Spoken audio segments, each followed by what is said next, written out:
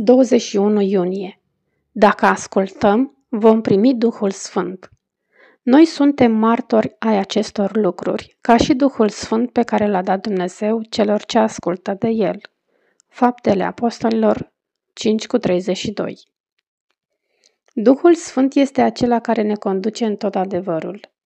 Duhul Sfânt ne descoperă lucrurile lui Dumnezeu și le transmite ca pe o putere vie în inima ascultătoare. Cel care are o inimă ascultătoare, care este gata să facă voia lui Dumnezeu, nu numai că va primi cu bucurie adevărul, ci va căuta cu seriozitate adevărul ca o comoară ascunsă.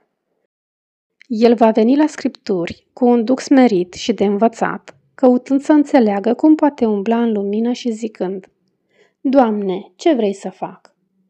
Faptele Apostolilor 9 cu 6 el este gata să sacrifice orice și oricând, dacă este necesar, pentru a fi în armonie cu voința lui Dumnezeu. Cei care îl primesc pe Hristos sunt credincioși poruncilor pentru că ei primesc mintea lui Isus. Ei se umplu cu spiritul de ascultare și răspund cu loialitate. Sfințiți prin adevăr. Dar tu cer ca adevărul să fie în adâncul inimii. Fă dar să pătrundă înțelepciunea înăuntrul meu, Psalmii 51 cu 6 Domnul dorește să venim la El zilnic, cu toate necazurile noastre și cu mărturisirea păcatelor noastre și El ne poate da o dihnă în purtarea jugului Său și a poverii sale.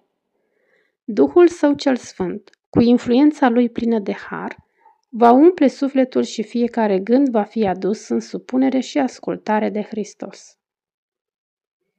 Religia care vine de la Dumnezeu este singura religie care poate duce la Dumnezeu. Ca să-i servim așa cum se cuvine, trebuie să fim născuți din Duhul Sfânt. Aceasta va duce la veghere, va curăți inima și va reînnoi mintea și ne va da o nouă capacitate de a-L cunoaște pe Dumnezeu și a-L iubi. Aceasta ne va da o ascultare de bunăvoie de toate cerințele Lui. Aceasta este adevărata închinare – când vă veți sfinți prin ascultare de cuvânt, Duhul Sfânt vă va trimite licăriri ale lucrurilor cerești. Când îl căutați pe Dumnezeu cu umilință și stăruință, cuvintele pe care le-ați rostit cu răceală se vor aprinde în inimile voastre. Adevărul nu va lâncezi atunci pe limbile voastre.